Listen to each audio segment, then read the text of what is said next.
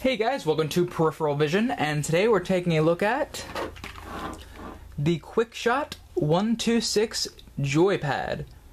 Now, this controller has a very boring name, just the name of the company and the model number, QuickShot 126, but it makes up for that boring name in weird, weird design. As you can see, this is not your typical controller, and with controllers that are strange like this, they usually have some sort of benefit to certain games. There's obviously flight stick controllers for games like Top Gun, and sh- shooting games you have a light gun, but this one doesn't seem to have a type of game that it works well with. It does technically work, I've put it in the system and all the buttons work.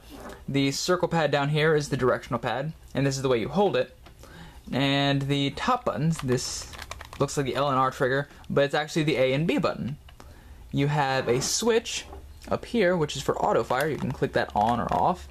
And I will say, when I plugged this in to test it, the auto fire is ridiculous. It works very, very well. So, point for this controller in that area, I guess.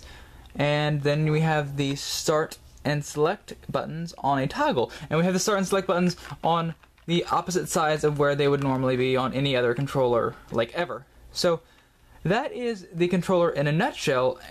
I don't really know what else to say about it. I can't figure out what the purpose is. I feel like there's some game out there that works really well with this kind of controller, maybe. But maybe I'm wrong. Maybe it's just a weird controller for weird controller's sake. It wouldn't be the first one. But there it is. QuickShot 126 Joypad. Later days.